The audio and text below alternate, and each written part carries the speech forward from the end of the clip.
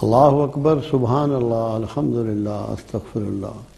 नामदहू व नसल्ली अला रसूल करीम। अम्माबाद आउज़बिल्लिमिनशैतवानरजीम बिस्मिल्लाहिर्रहमानिर्रहीम हमारा आज का मौजू गुफ्तु दौर फितन, और आपकी हिदायत के रेफरेंस से होगा। रसूलुल्लाह सल्लल्लाहु अलैहि वसल्लम एक रोज़ जहर की नमाज़ पढ़ाने के बाद मिंबर पर तशरीफ़ फरमा हुए और आपने दौर फितन और क़्यामत के आसार लोगों को बताने शुरू किए। यहाँ तक कि असर की नमाज़ का वक्त हो गया। आपने असर की नमाज़ अदा फरमाई और फिर दौर फितन के हालात आपने बताने शुरू किए, यहाँ तक कि मगरिब हो गई और फिर आपने मगरिब की नमाज़ अदा फरमाई। उसमें से बहुत सी चीज़ें लोगों को याद रहीं और बहुत सी चीज़ें लोग भूल गए। मगर हमारे ज़माने में वो चीज़ें हमें, जितने मजमू अहादीस हैं, चाहे वो सियासत्ता हैं या सियासत्ता के अलावा भी, सब में तमाम अहदीस को जमा करने वालों ने दौर फितन को अलग अलग बांधा है और पूरी तफसीलात से आने वाले ज़माने के इंसानों को आगाह किया है। सियासता में भी कोई मजमू हदीस ऐसा नहीं है, बुखारी हो, मुस्लिम हो, नसाई हो, दाऊद हो, तिरमिजी हो, इबन माजा हो, मोता हो,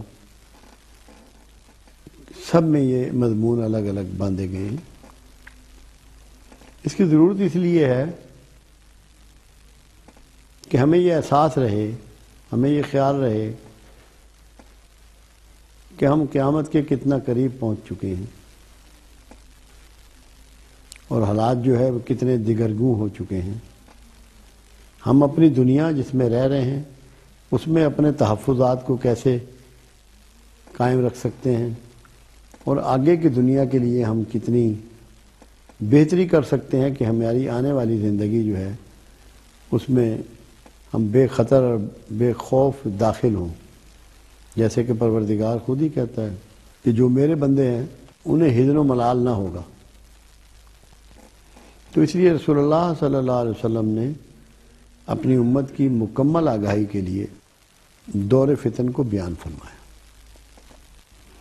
आपका फरमान मुबारक है कि सबसे बेहतर ज़माना मेरा, सबसे बेहतर ज़माना मेरा। उससे कम बेहतर मेरे असाब का। उससे कम बेहतर ताबईन का, यानी कि उनके असाब का। उससे कम बेहतर तबा ताबईन का। और उससे कम बेहतर तबा तबा ताबईन का।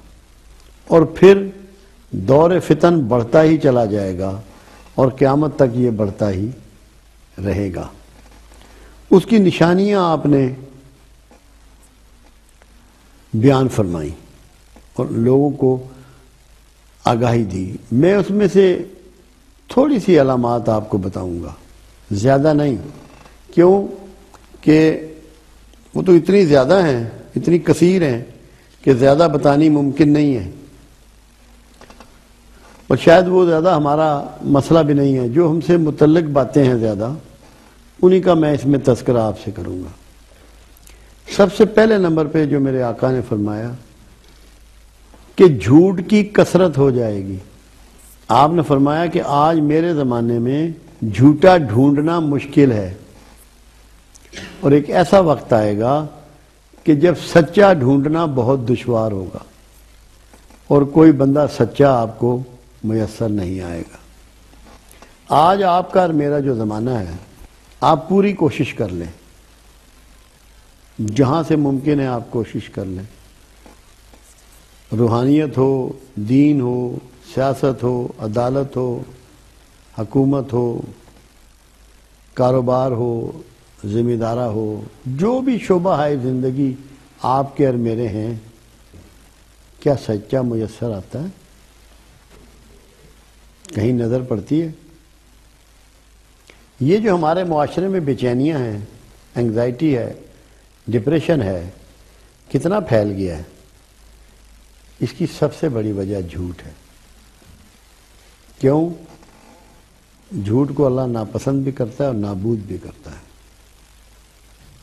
ये क्यामत की, दौर फितन की बड़ी निशानियों में से निशानी है कि झूठ की इतनी कसरत हो जाएगी कि आपको सच्चा मुयसर नहीं आएगा। ये बहुत बुनियादी एक नुक्ता है।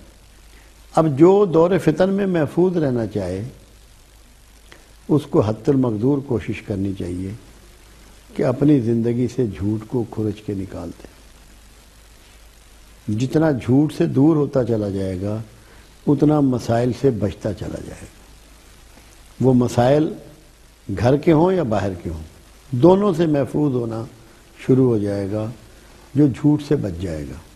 मतलब ये इसलिए आका ने निशानदेही फरमाई कि आपको पता हो कि आपको कौन सी बीमारी से बचना है।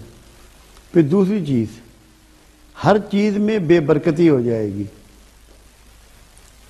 हर चीज़ में बेबरकती हो जाएगी यहाँ तक कि साल, महीने महीने, दिन और दिन घंटों की मानंद हो जाएँगी। आपको पता लगा 2014 कहाँ चला गया? कितने काम आपके मेच्योर हुए? कितने काम रह गए? तो बेबरकती हो जाएगी। आपके पास कितनी अशिया की कसरत है? फल, सब्ज़ियाँ, गोश्त, अंडे, दूध, दालें, लिबास, हर चीज़ आप सबके पास पहले से वाफर है।